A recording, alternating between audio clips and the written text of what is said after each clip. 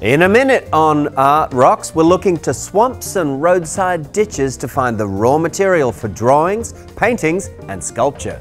I go into the environment where I grew up and I draw from life. I spend time observing. I personally found that I was really drawn to floral forms. The dark side of fashion, and a pianist drawing inspiration from a whole ensemble of musicians. That's all about to happen on Art Rocks.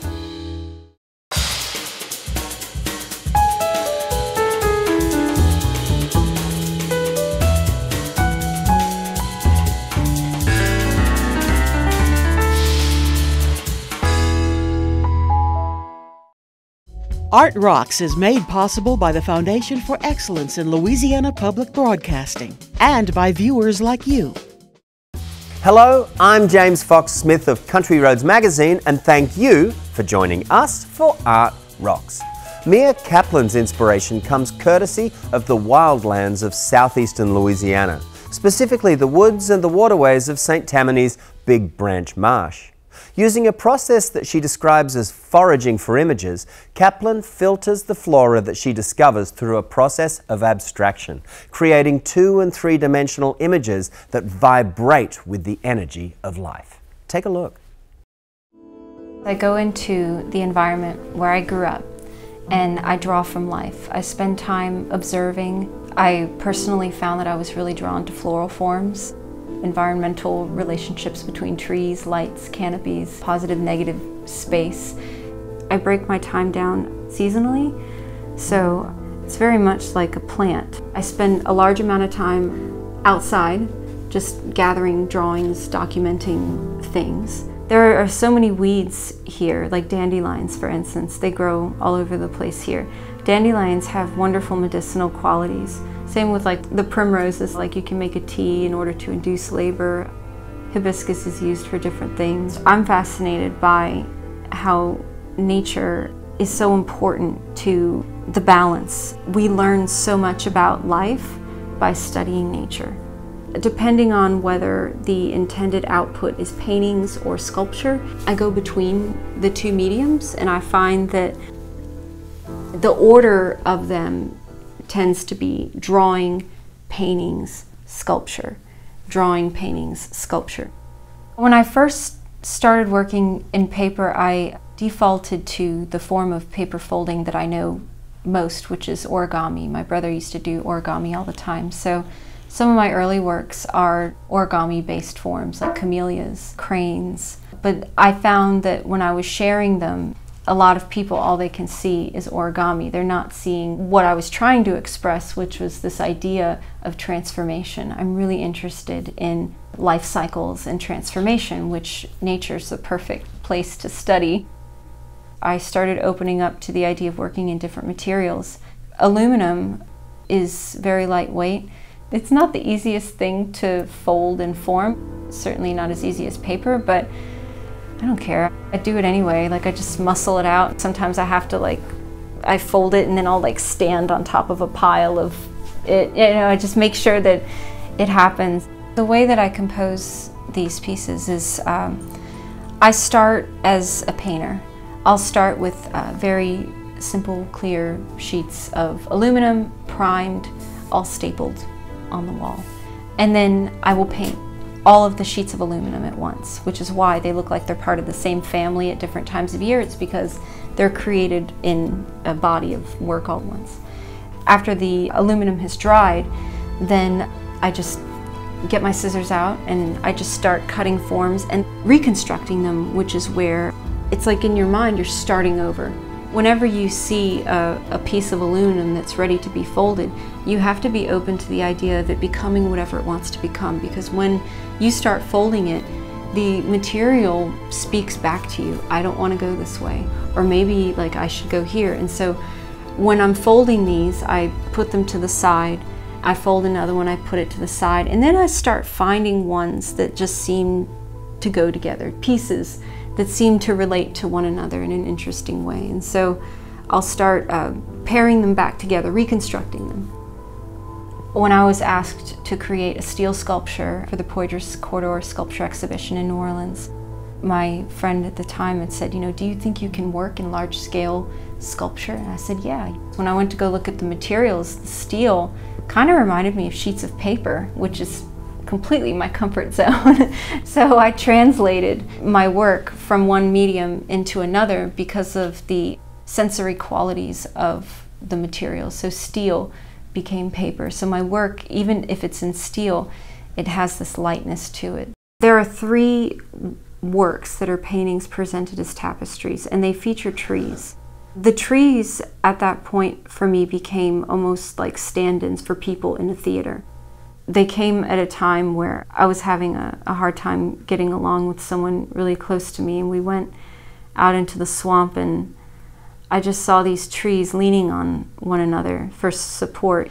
On the left side of the uh, photo, you'll see these two cypress trees uh, leaning on one another, and there's a setting sun behind them, and they're they're they're supporting one another. There's humanity in there. People tend to gravitate towards the use of color in my work, and I think it's because we love color and we associate that with color. So my colors tend to be very joyful and uplifting. The background of these paintings, like for instance, you can see this and like the little bean shapes and things that you know, they have their forms. There's a framework in this painting which is drawn from uh, one of my illustrations of spiderwort, which grows here wild. It's a, it's a native plant. When I'm speaking to people about my work, a lot of people will say, you know, I don't understand abstraction. And that, to me, it made me really sad because there is a logic to it. Drawing from something which was identifiable allowed me to create conditions that could be understood and I think it makes it more digestible. It's like going into the cellular structure of like what makes something magical and, and special and in this particular case there's all this energy and movement and density and like you can see like hints of other flowers peeking through and and that's it. That's just that's what the painting is. My favorite collectors are the ones that really, they feel that joy, they feel that uplift. I do have some work in the Mary Bird Perkins Our Lady of the Lake Cancer Center and part of their healing arts program.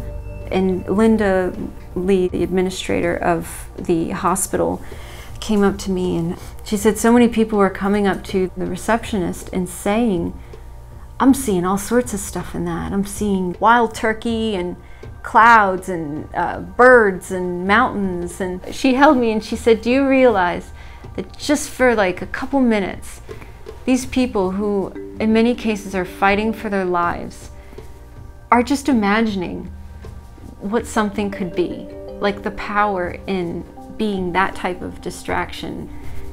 It, added a whole new layer of gratitude to my work and why I love doing this type of work to be able to create something that naturally comes from me, but that also has the quality of being able to uh, happily distract someone. It's a gift. I got a great gift to be able to do it.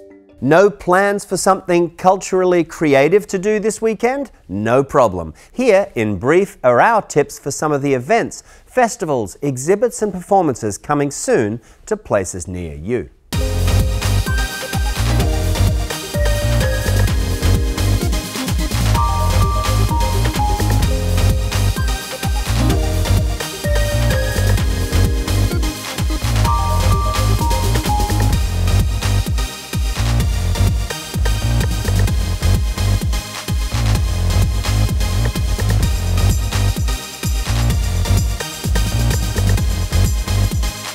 To learn more about these and other events in Louisiana, keep your eyes peeled for a copy of Country Roads Magazine.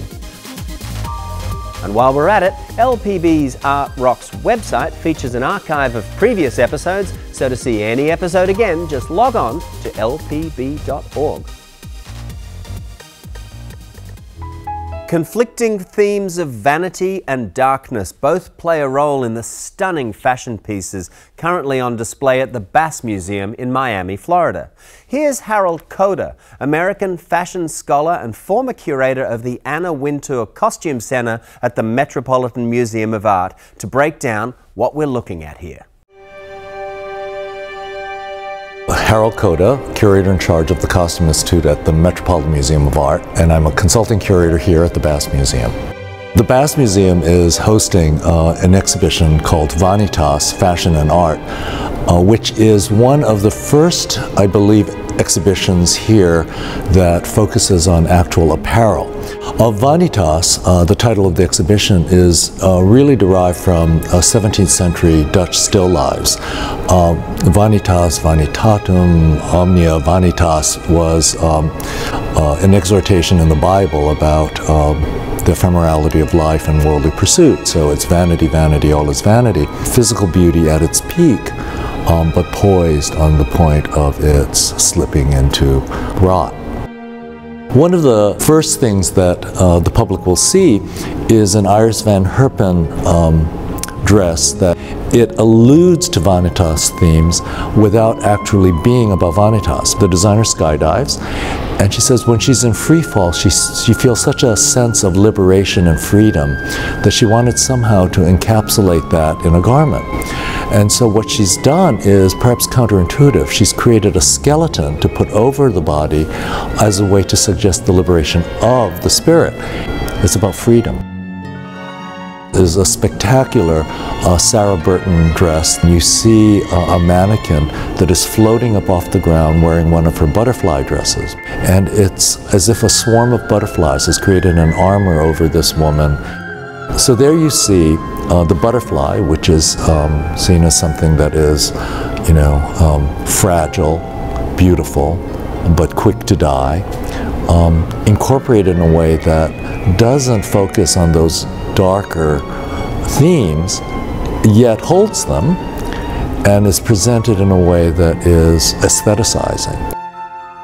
You know, what I love about um, Miami and Miami Beach is that it's this intersections of so many cultures, but um, it's especially the Latino culture that infuses this whole environment. And I think that a Vanitas exhibition as a spring show, you know, spring, rejuvenation, happiness, it's not really logical for mo most places. But within Spanish culture, uh, there's this thing where you can decorate death. And so it seems like um, to have a spring show of vanitas is not inappropriate in a culture which isn't afraid of addressing death as an issue, mortality as an issue. That it's something that has to do with um, resurrection, rejuvenation, as much as it has to do with loss. And Vanitas is not a logical subject for fashion. Fashion is about optimism, looking to the future, um, capturing desire and seduction, luxury.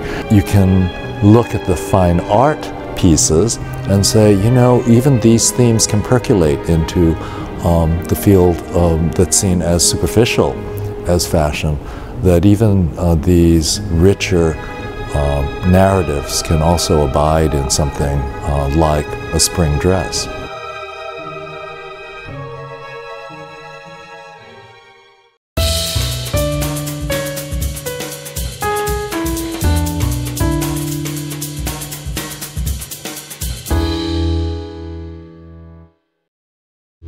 It's all the way to the West Coast now, where San Francisco, California born pianist Lara Downes is revealing how working with guest artists has given her a richer and more nuanced connection to the music of America.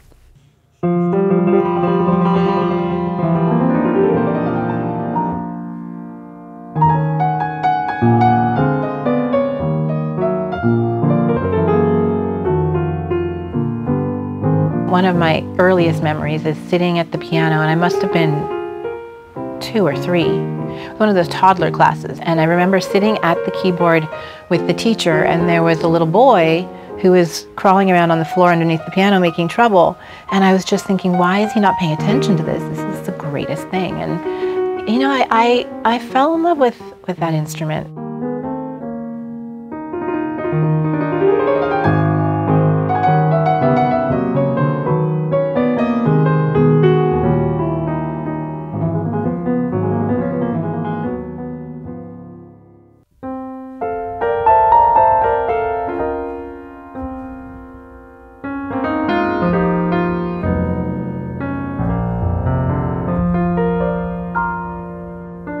A musician, and that means so many things. Uh, maybe now more than ever, but I think I've put together this life and this career that are made up of a million moving parts, and I like it that way. Um, you're lucky if you find a way to something that's interesting and fascinating and uniquely yours.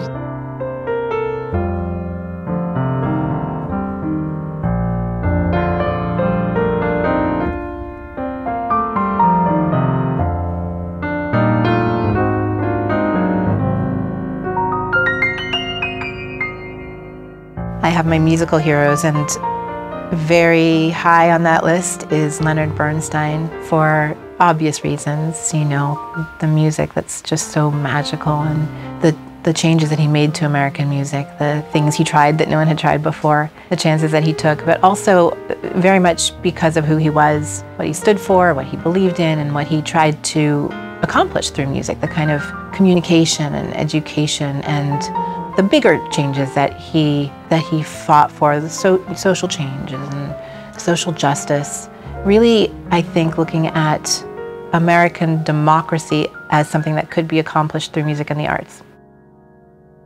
It's his centennial year, and I wanted to do something in tribute. So I'm in the final stages of putting together this album called For Lenny. So most of this record has been recorded in New York.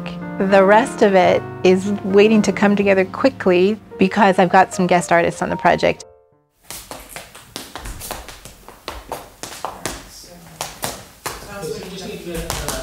We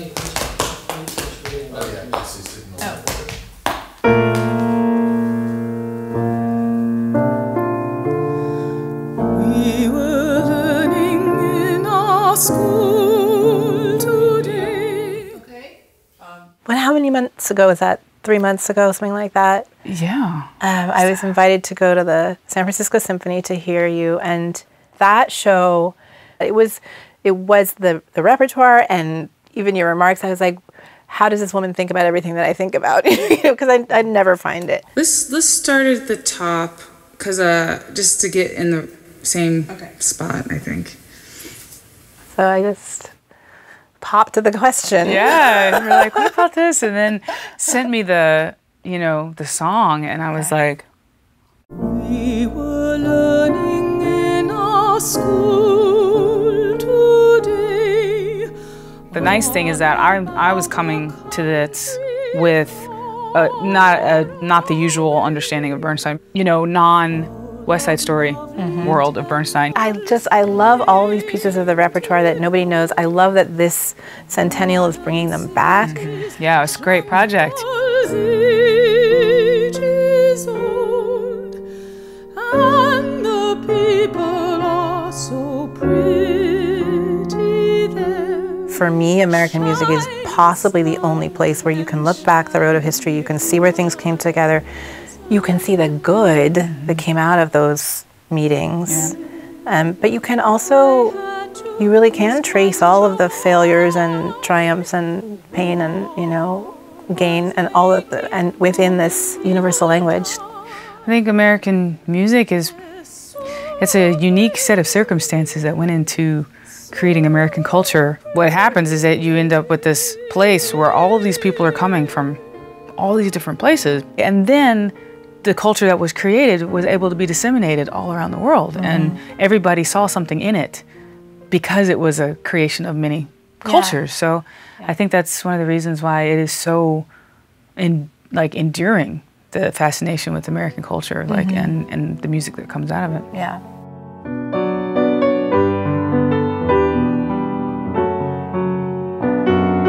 Traveling around this country with American music, sharing American music in American communities, I've I've learned so much. I've understood so much about just how deep that goes, just how much change can happen in a room or, you know, in a town, um, in a heart through this this open door that music gives. The the night after the election in the fall, I was playing in Louisville, Kentucky, and there were some responses in the room that night that were just extraordinary. Uh, there was a young man sitting in the front row with his family, And I'd played in the course of the program, I'd played a piece by an immigrant composer. And, you know, I was talking about how American music is so much made up of all the places that we come from, all the things we bring with us. And I played that, uh, that piece, and at the end of the concert, he spoke up and he said, my family and I are undocumented, and hearing that music made us feel that we belong here.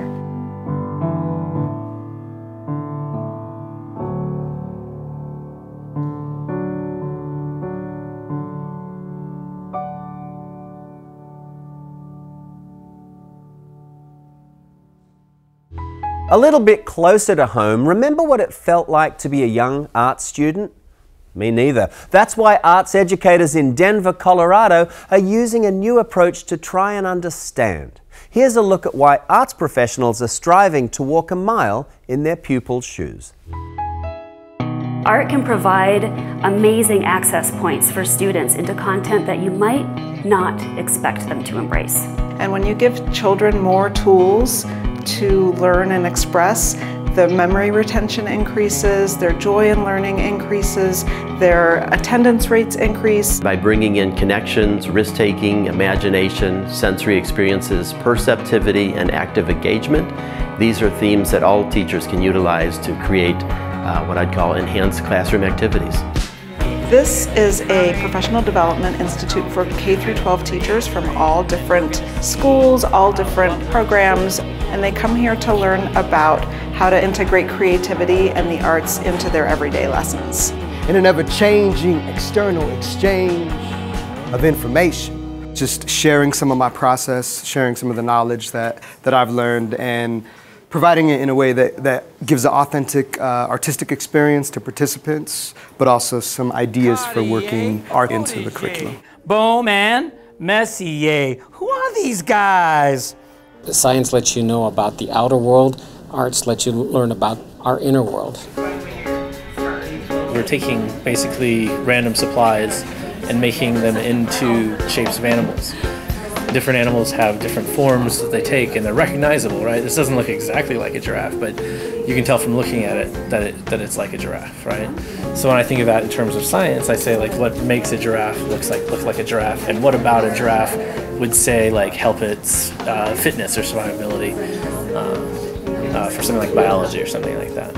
It's all based on folk art that's from San Martin, Oaxaca but those are carved animals. You don't necessarily want elementary school or middle school carving things, so try to come up with a different way of sort of replicating understanding another culture. So we're using recycled materials with paper mache. It has been a while for some of these educators since they have been students, particularly students in areas that they don't feel comfortable in, where there's a lot of risk. By creating a very safe environment, by creating an environment where risk-taking is encouraged and we're all taking risks together, people tend to open up. I believe that we are all artists. You ask any child um, if they are an artist, they will say yes, and they can create art for you on the spot.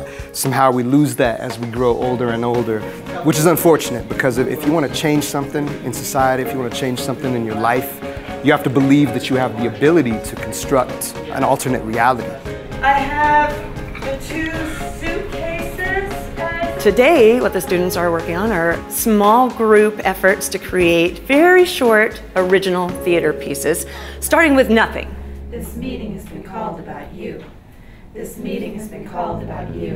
We really encourage our participants and our artists and ourselves as staff people to think about how they can integrate dance with math or dance with physics. So we get to play today. Uh, we're going to play with the tech stuff. Uh, but I'm going to give you kind of an overview of it and understanding of how you can use it in your classroom.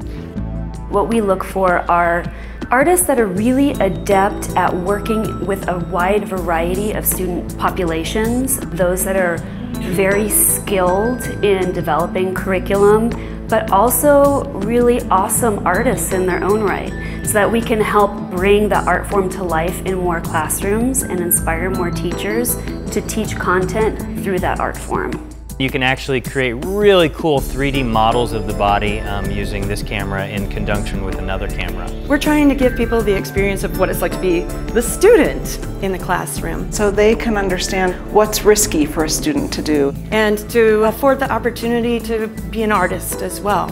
I was really successful at the end of this last year doing a poetry slam and using Think 360 and it really inspired my students and it also really inspired me and reminded me the importance of creative teaching and allowing students to be successful through the arts. You don't want me. Art can transform a life. Art can save a life. Art can make somebody understand the world in a different way that is, uh, you know, it can be a magical experience. Art can make life worth living. It's not the only thing that makes life worth living, but it enhances the lives we live.